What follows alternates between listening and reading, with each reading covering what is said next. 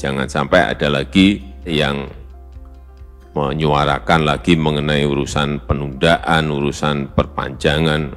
Enggak. Saya tidak yakin upaya-upaya dari para pendukung penundaan dan pe, perpanjangan masa jabatan penundaan pemilu dan perpanjangan masa jabatan presiden itu akan berhenti dengan pernyataan presiden itu hmm. karena eh, itu pernyataan presiden itu kan tidak dengan tidak didasari oleh eh, satu hal yang sangat fundamental misalnya eh, bahwa itu melawan konstitusi misalnya kan tidak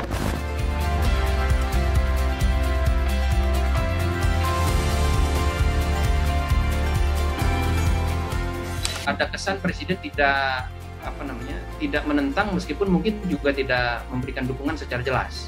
Jadi itu menimbulkan lagi kecurigaan, menimbulkan dugaan-dugaan bahwa ya ini eh, bisa jadi exit strategi karena melihat peluang yang kecil, bisa juga itu apa namanya upaya untuk meredam sementara eh, penolakan terhadap isu ini sambil upaya-upaya untuk Eh, mengusahakannya tetap dilakukan oleh para pendukung penundaan pemilu dan perpanjangan masa jabatan presiden.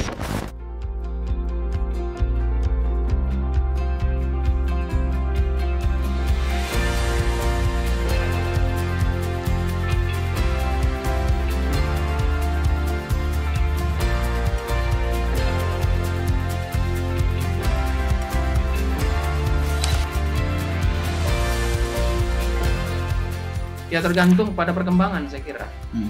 Kalau misalnya saya menduga upaya itu masih akan terus dilakukan oleh para pendukung penundaan dan uh, per, apa, perpanjangan masa jabatan presiden sambil melihat peluang. Hmm. Misalnya ya yang yang diharapkan itu antara lain adalah uh, berubahnya pandangan atau dukungan dari para partai politik